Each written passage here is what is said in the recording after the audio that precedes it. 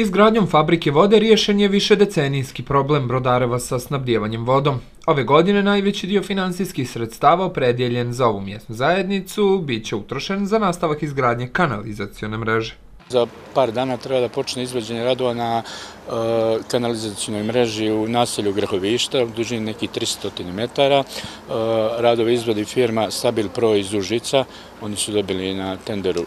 To je baš veliko naselje, e, ima preko ovaj, stotinu domaćinstava, znači i nije, jedan deo Grahovišta je povezan na kanalizacijnu mrežu od ranije, ali veći deo stanovništva nije. Dva javna poziva za sanaciju postojećih javnih puteva na području Brodareva su obustavljena jer nije bilo zainteresiranih izvođača radova. Predsjednik savjeta ove mjesne zajednice najavljuje popravke drugih. Prošle nedjelje Brodarevski kraj zahvatilo je nevrijeme koje je nanijelo štete usevima, ali i objektima. Na Jaliji je u toku i turnir u malom futbalu letnja Liga Brodarevo, koji je jedna od najposećenijih sportskih manifestacija u cijeloj opštini.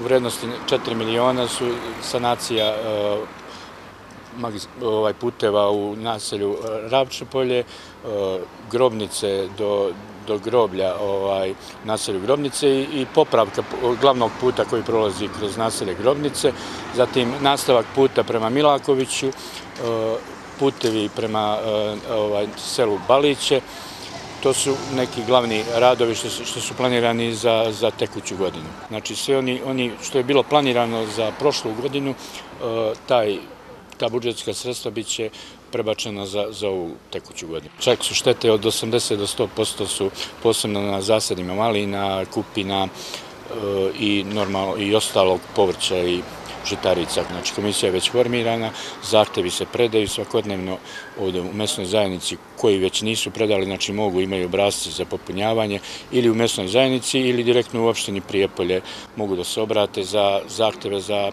štete u poljoprivredi. Dosta je i uništeno i e, crpova, krovova, znači baš u samom naselju Brodarevo ima baš dosta prijavljenih. Brodarevo je poznato od polovine jula, e, sve je vezano za letnju ligu koja je počela pre tri dana okupilo se 21 ekipa sa prostora Crne Gore i Srbije.